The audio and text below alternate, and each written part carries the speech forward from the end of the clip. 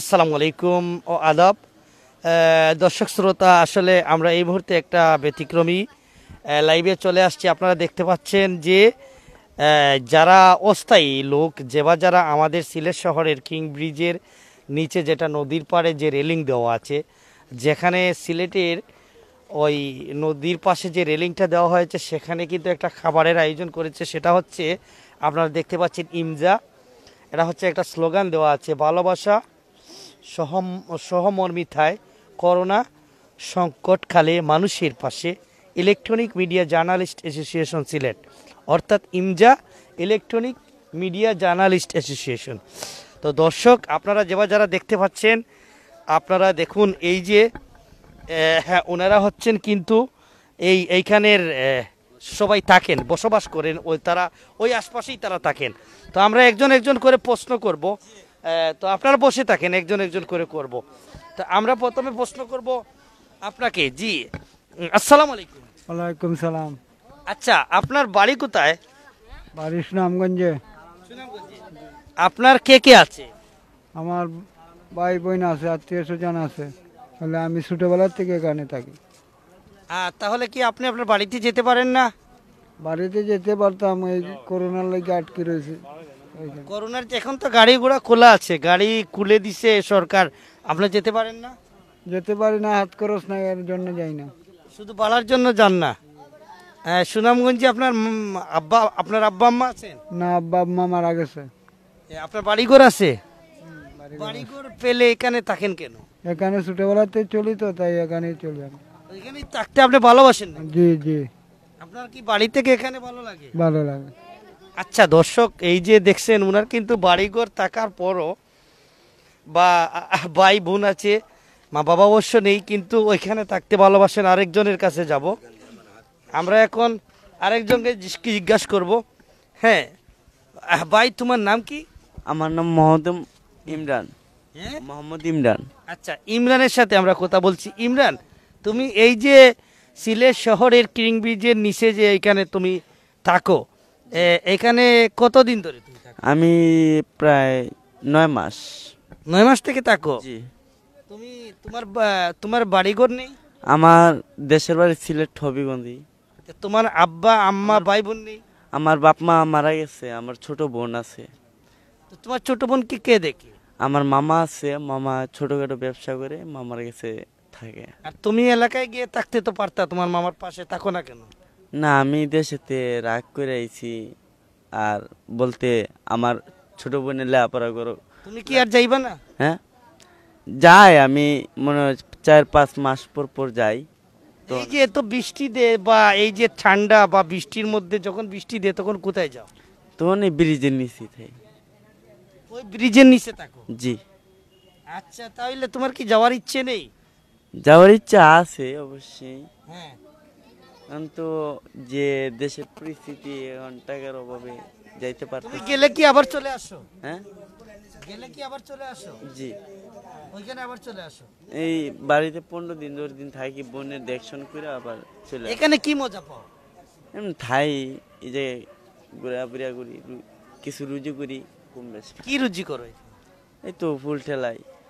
ও আচ্ছা ফুল টেল সে কিন্তু ওই যে আপনার যে রিক্সাগুলা পুল দিয়ে, আমাদের ব্রিজ দিয়ে উঠে, যেটা আমরা সিলেটি ভাষায় এটাকে পুল বলা হয়, তো ব্রিজ যেটা ব্রিজের উপরে যে রিক্সাগুলা উঠে, ওই রিক্সাগুলা সে মানে ধাক্কা দিয়ে যে তোলা হয়, সেখান থেকে একটা মুনাফা, সেখান থেকে একটা অর্থ পায়। এই রিক্সা চালক হোক বা এই যে আপনার যাত্রী হোক, একজন দেয়, সেটা দিয়ে চলে, তবে তার এখানে ভালো লাগে, সে বাড়িতে গিয়ে আসে। আরেকজনের সাথে আলাপ করি আমরা। দর্শক যেবা যারা এই মুহূর্তে আমাদের লাইভটি দেখছেন বিশেষ বেশি বেশি করে লাইক কমেন্ট শেয়ার দিবেন। এবং আমাদের কাছ থেকে ভালো অনুষ্ঠান যদি আপনারা দেখতে চান বা জানতে চান তাহলে কিন্তু আমাদের কমেন্ট বক্সে লিখবেন অবশ্যই। আমরা আমাদের হিলি টিভি থেকে আপনাদেরকে সরাসরি দেখানোর চেষ্টা করব। দর্শক এই মুহূর্তে আরেকজনের কাছে চলে যাচ্ছি। আপনার নাম কি? মোহাম্মদ ফারুক। ফারুক? জি। হ্যাঁ তো আপনি কতদিন যাবত আমি এখানে তিন বছর সিলেট। আপনার দেশের বাড়ি কোথায়? আমাদের বাড়ি কুমিল্লা। কুমিল্লায়? জি। আপনার কি বাড়িতে যাওয়ার ইচ্ছে হয় না? আমাদের বাড়ি ঘর নাই স্যার। তোমার বাড়ি কোন নাই? জি না। বাবা মা ভাই বোন আমার ভাই বোন মা বাপ ভাই সবাই আছে। তাই তাহলে যাও না কেন? যাই না স্যার গাড়ি চলে না টাকা পয়সা নাই। কতদিন ধরে? থেকে যাইতে পারতেছি না আমি। বলতেছি সর্বমোট কতদিন ধরে আপনি এখানে থাকেন? আজ তিন বছর। তিন বছরে কি যাওয়ার ইচ্ছে হয় না? জি না। কেন? টাকা পয়সা নাই যাইতে পারি না। বাড়িতে তো যাইতে এখানে টাকা সামান্য বাড়ার ব্যাপার। এটা তো দুই চারজনকে বা যে আমাদের এই থানার পাশে গিয়ে ওসি সাহেবকে বললেই তো উনি ভাড়া দিয়ে দিবে। আমার মনে হয় যেটা। প্রশাসন এখন ভালো কাজ করে যাচ্ছে। বা একজন এসআইয়ের কাছে বললে সেও ভাড়া দিয়ে দিবে। কিন্তু মূলত আপনার যাওয়ার ইচ্ছে নেই এখানকে ভালোবাসেন নাকি? যাইতে ইচ্ছে করে না। সিলেট আসছি ভালো লাগে। মানে বন্ধুদের সাথে চলাফেরা ভালো লাগে এই জন্য যাই না। সেটা বলেন। কিন্তু বাড়ার ব্যাপারে বলা যে কোনো কেউ দিতে পারে। কিন্তু আপনার এইখানে এখানে আপনার চলা- আপনি এখানে চলাফেরা করে আপনার এখানে ভালো লেগে গেছে তাই থাকেন। জি। আচ্ছা। দর্শক উনি সব আছে তারপরে উনি যেতে যেতে চায় না। ওনার কারণটা হচ্ছে বলতো আমি বলছিল বাড়ার জন্য। তো বাড়ার জন্য তো মনে করেন যে কোনো মানবতা মান- মানবিক দৃষ্টি যে কোনো একজন যার মানবিক দৃষ্টিগুণ ভালো আছে সেরকম একজন লোকের কাছে বললে অবশ্য বাড়া দিয়ে দিবে। সেটা ব্যাপার না আসল হচ্ছে যে তার এইখানে ভালো লাগে এখানটাই তার হয়ে গেছে একটা গোর বাড়ির মতো আর কি যেটা সে এখান ছাড়া আর বুঝবে না এই জায়গা ছাড়া বুঝবে না। দর্শক আরেকজনের সাথে কথা বলি। আমরা এখন কথা বলব আপনার সাথে কথা বলি। ভালো আছেন তো? ভালো জি, আছি সালাম আলাইকুম। কি আপনার বাড়ি কোথায়? আমার বাড়ি সিলেট হবিগঞ্জ। সিলেট হবিগঞ্জে? বানিয়েছি তাহলে পানিয়ার সঙ্গে আপনি যান না? যাই কম কম যাই আর আপনি কতদিন যাবত আছেন? আছি এনে দুই বছর ধরে আছি। আপনার কি বাড়িতে যাওয়ার ইচ্ছে হয় না? যাই মাঝে মাঝে যাই আর বাড়িতে এখানে কি করেন? কেউ নাই। করেন কি? কাজ টাজ করে আমরা ব্রিজ টিজ চালা দিই। হ্যাঁ, যে যেটা বাঙালি কাজ হ্যাঁ, বাঙালির কাজ করেন। আর থাকেন কোথায়? ওই ওই যে ব্রিজ নিচে। ব্রিজের নিচে? উনি ভাঙাড়ির কাজ করেন কিন্তু ওই ব্রিজের নিচেই থাকেন। কিন্তু হ্যাঁ, আমরা আগে প্রথমেই বলেছি যে এখানে কিন্তু সিলেটের ইলেকট্রনিক মিডিয়া ইমজা কিন্তু প্রতিদিন এই কোভিড নাইন্টিন করোনা ভাইরাস আসার পর থেকে খাবার দিয়ে যাচ্ছেন তাদের এই সংগঠন থেকে। তো এই সংগঠন থেকে খাবার দেওয়া হচ্ছে। দর্শক আমরা তো তিন চারজনের মতামত নিলাম আরও নিচ্ছি দু একজনের তবে আপনারা জানি না কেমন লাগতেছে, একটা জিনিস বলি, অসহায় মানুষদের পাশে থাকুন। আসলে অসহায়দেরকে ভালোবাসুন। এই যে অসহায়দের দেখছেন, ওরা আসলে অনেক, অনেকে আছে যে সবই যে একেবারে কাজ করে তা না। এর মধ্যে কিছু আছে যে যারা কাজ করেন কিন্তু এই পরিবেশের সাথে তাদের ভালো লাগে বা তারা এখানে ফ্রি থাকতে পাচ্ছেন বা আচ্ছা আপনি কি বাড়িতে টাকা পয়সা পাঠান? আমরা আবারও চলে যাচ্ছি। ছোট একটা বোন আছে বিয়া সাথে দিয়ে দিছি। সব ঘর সৎ মা আমার বাবা মারা গেছে। ওই সৎমাই তাকে। সৎমার জন্য চান উনি যে ভাঙ্গুড়ি ব্যবসা যিনি নামটা কি? আমার নাম মোহাম্মদ মামুন মিয়া।